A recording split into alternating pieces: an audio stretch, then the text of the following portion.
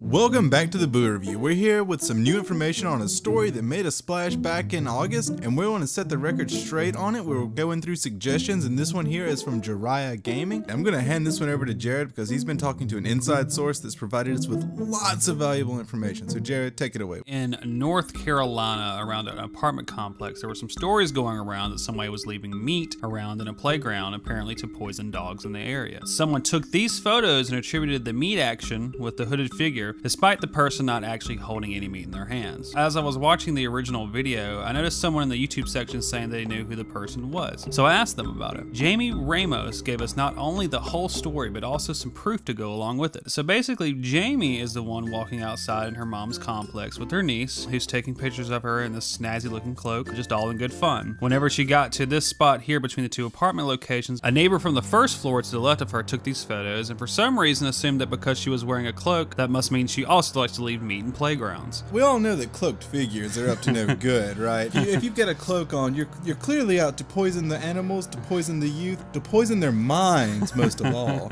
also, if you look at the pattern on the cloak in these images, you can see that's the same pattern on the pictures that went viral. So this is the same girl. So the neighbor uploaded these pictures, and we're guessing also started the rumors about the meat. We can't find any news about meat being left in the playground other than the one associated with Jamie's pictures here. So we're assuming the meat story is probably not even true. If there was meat left in the playground is completely unrelated. I guess this just all plays into what Americans fear the most people in hoods, and more importantly, meat that cannot be eaten. Speaking of being afraid to eat meat, that's how uh, Siddhartha Gautama died. Who? Like the Buddha. Oh. He ate some rancid meat, was offered to him as a gift. He had to eat it, and he knew it was bad. The lesson here is to be more like the Buddha and just eat the meat that people leave in playgrounds.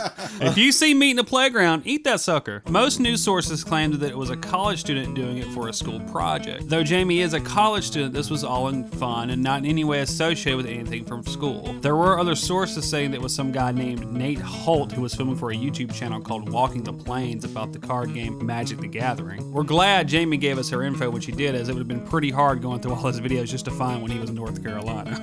Battle for Innistrad. In there?